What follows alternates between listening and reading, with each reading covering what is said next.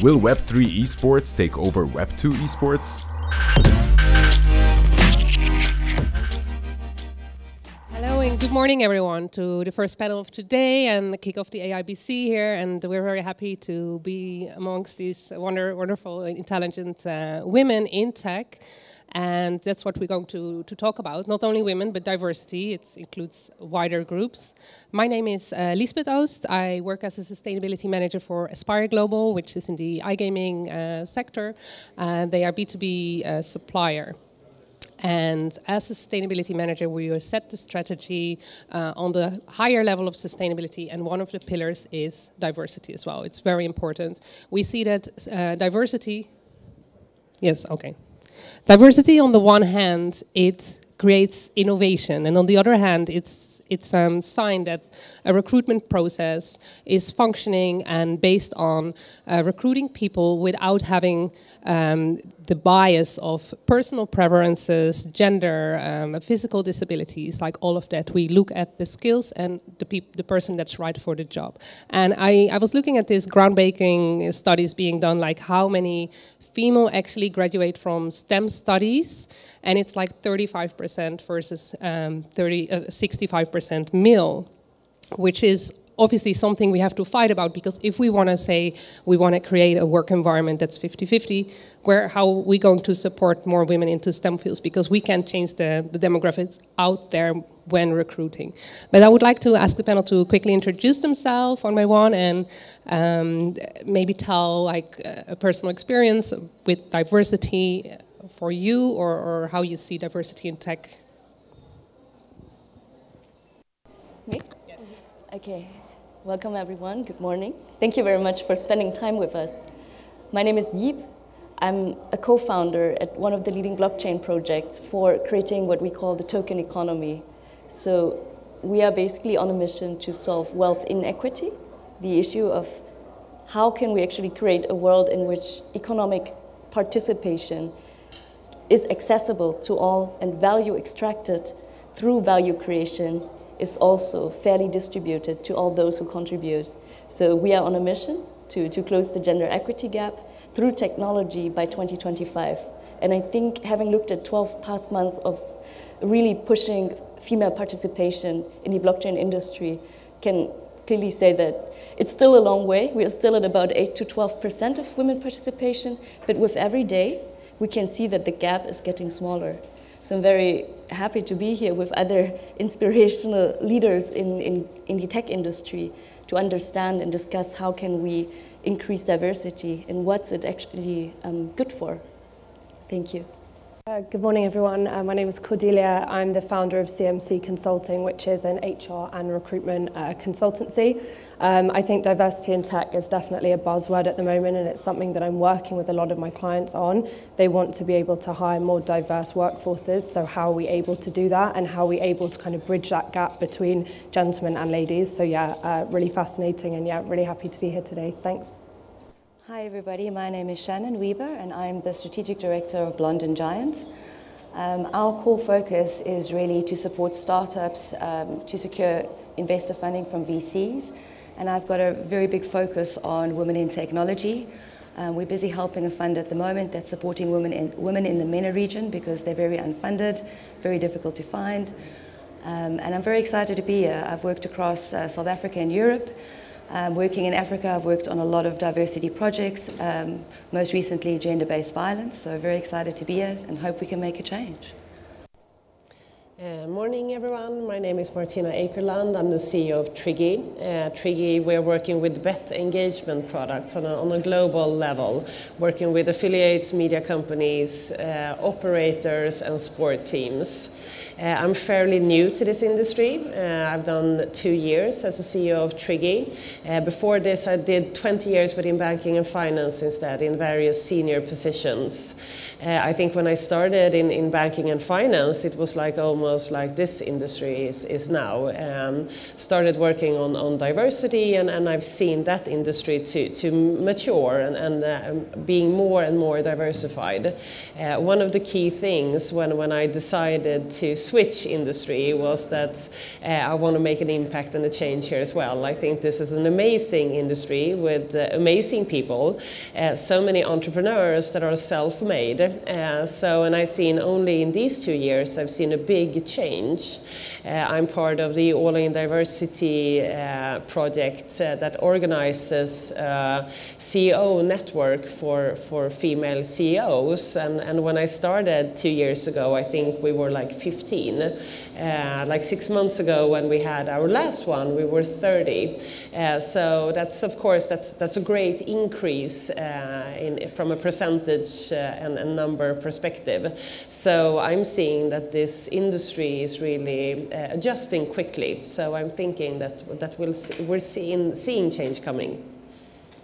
Thank you, everyone. And I think something interesting to discuss is like when you look at the, the hierarchy of a company, the, the pyramid structure, when we see the lower levels, that's often 50-50 but when then you grow up in the um, in the organization the um, diversity gets less and uh, martina maybe you can tell from your experience especially in the finance world very male dominant um, how do you think going forward companies can support this or, or what has been done to create more diversity on, on management level, but also on boards, which is, which is powerful and important. Yes, I think there are like, uh, there, there, are so many areas that, that you need to cover, but of course it, it has to start from the top to actually uh, want to make a change, uh, and you have to, uh, you have to, um, how do you say, uh, look in, into your own organization, how you're working with promotions, and how can we make sure to to promote um, women and always have like an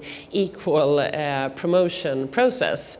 Uh, maybe you have to put extra effort into leadership, into to women to make sure that they are able to succeed succeed. Because that was one of the reasons that, uh, that I left one of the largest banks in Sweden. It was just like there were too many men in line for the next available uh, C-level. And I felt like I, I, will never get there in, in the time that I wanted. Uh, but so it has, to, it has to start from the top. But also you have to, uh, how do you say, um, really um, not put pressure, but um, um, work with the recruitment process. If you're working uh, like uh, with your own HR team that are doing the recruitment process, or if you're working with external recruitment companies, of course everyone is like really busy and working by the hour. Uh, so finding 10 candidates with maybe eight males, that is of course that's normally a quicker uh, job. Uh, but but if if you're the the responsible recruiting manager, you really have to make sure that uh, okay, I want an, an equal recruitment process here. Um, not only the candidates, but how you how you uh, decide to, to write the work description. Like you can use with different kind of wordings that will attract both men and females uh, in the recruitment process. When, when we at Triggy are recruiting, if there's a female, I'm always in that process from the beginning um, to be able to show that even though we're male dominated, that um, we are part of a change. Um, uh, and then you also have to work with the culture to make sure that once the women are uh, on board, that they really um, flourish and, and like uh, the culture of the company. So uh, many things that you have to think of. Culture is, is key here, I think. When you're recruiting, and I wanted to ask Cordelia, like, you ask questions maybe in the interview process to see if this person has a diversity and sustainability mindset, because then automatically it will be a good fit for the company and it thinks along uh, the lines of contributing to that. Yeah, absolutely. And I think it goes, as Martina mentioned, even further back to kind of the job uh, description and the job writing process. You know, the language that you're using to engage with candidates may then attract either more of a male application or a female application. And it's really important to kind of keep that more level. I think, you know, flexibility is also key in what you can offer. You know, if you're wanting to be able to attract more ladies, it's important to be able to offer more flexible working hours if they need to potentially pick up children, go on school runs. I think now the mix of hybrid and us moving into this new world has made things much more equal. We're more on a level footing now for, to be able to attract ladies into the workplace. But yeah, absolutely. I think it goes really back to even the, the job creation. Yeah, I think and in Malta they extended parental leave uh, now as well as a new incentive, and it can also be transferred to the to the partner which is great. This is really supporting uh, women because obviously we want to share the burden of if once you have kids equally, but it doesn't always work like that because the woman is still the one that gives birth and needs to be physically off work. Um, but having these incentives in place from an employer is really, really helpful. And um, I think also maybe COVID has helped there with the working from home. And uh, Shannon, you have a lot of experience all over the world. You you have lived, and maybe you can give some interesting perspective on the different cultures and, and what you have uh, experienced. Also, just on your point on COVID, I think that women in technology took a big hit although we think that working from home is better, they've been working longer hours, their partners are not taking on the responsibilities. You know, we're more dedicated to working longer hours. So I think that we took a very big knock. Um, in terms of a, global stats of women in technology, it's still very low. It's about 20% of the entire workforce.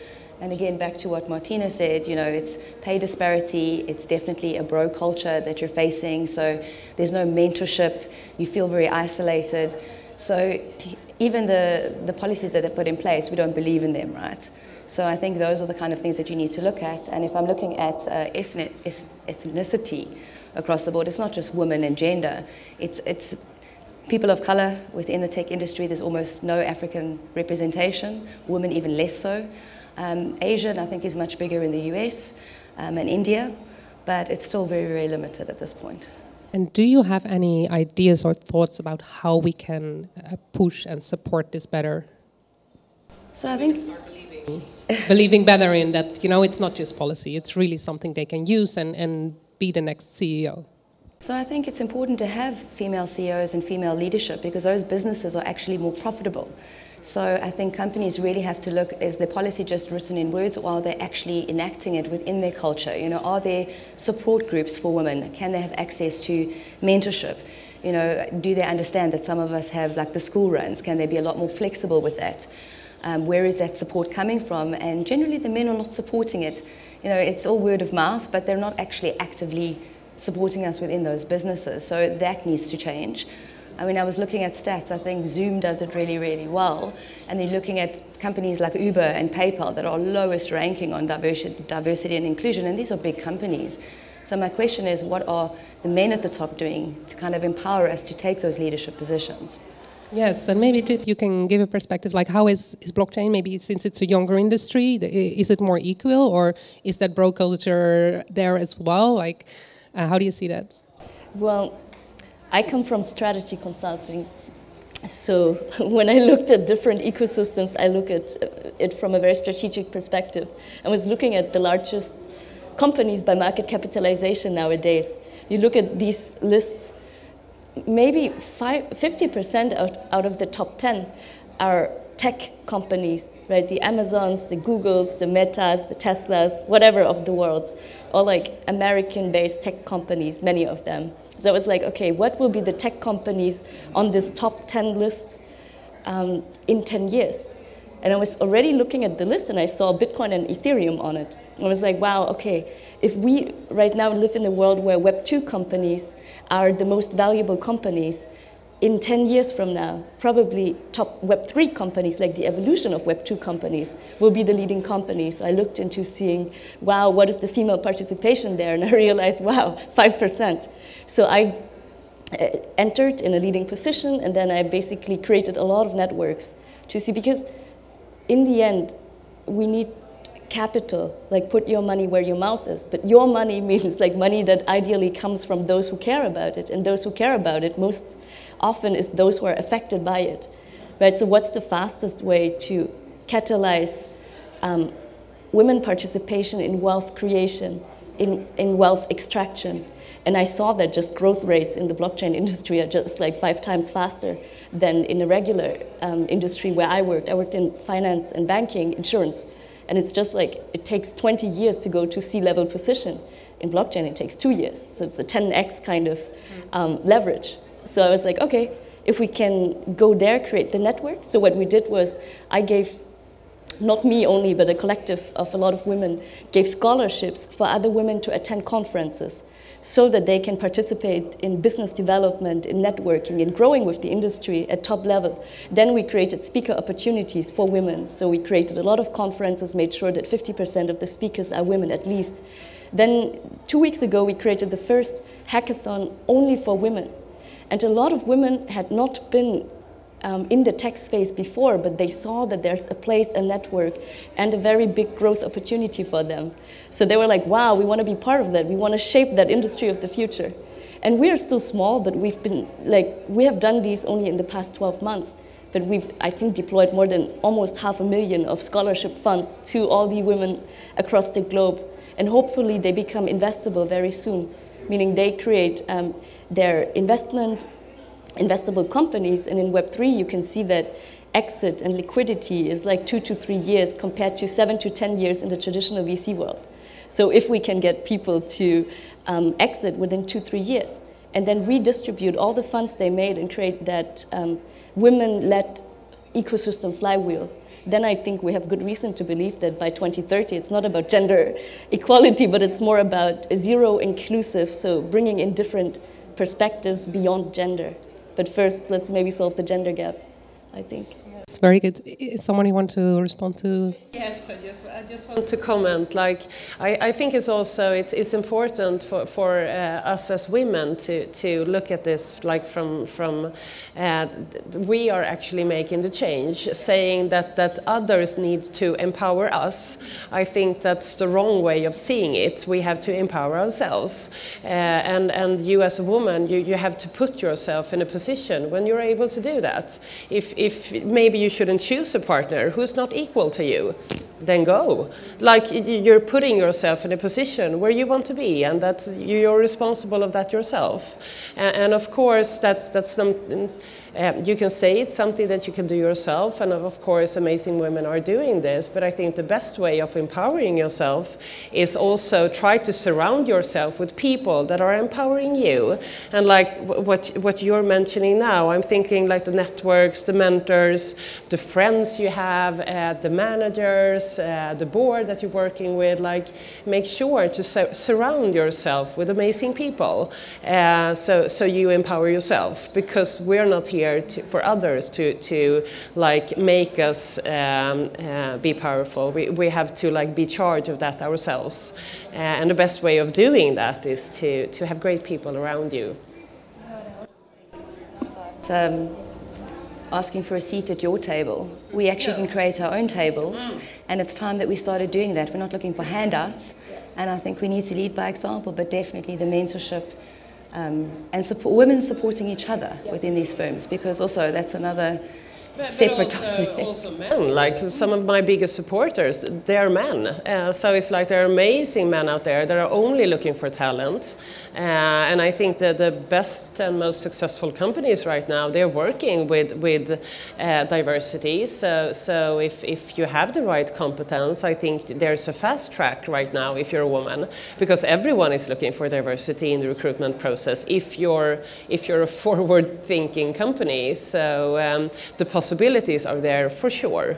Yeah, positive role model uh, piece is something that's really important. By having that mentorship and by having people that you can look up to at work and see you know within three years five years that can be your trajectory i think that's something that women really value. And by being able to kind of empower each other we can then help to kind of bring everybody else up. Yes so just summarizing i think it's partly initiatives that will, will help, but it's also be confident and, and grab the opportunities there. And and we, we know the stories like when you apply for a job, males are uh, putting their CV in a way and very confident, like, yeah, I, I think I can do it. I'm, I'm doing it. And then when it's a woman, they, they feel like I'm not good at this. So I think the whole confidence. And here we have very confident uh, women. We we are good examples, but we can help and and get that more down to to everyone because in a way it has been uh, a, a, mindset for a long time that needs to change and it is changing. And I think the the girls and the ladies that grow up these days they are completely different. It's a very equal uh, education. So I'm looking forward to to see the next decade with everything here. And um, I don't know if somebody wants to, to add something uh, to this as a closing note because we have a few seconds left. Cordelia, Shannon, yes, you good? Just want to say thank you to the organizers also who create that space for to, to, to hear different perspectives. Yeah from different leaders. So thank you, Stella. Thank you, Sigma. See you next time.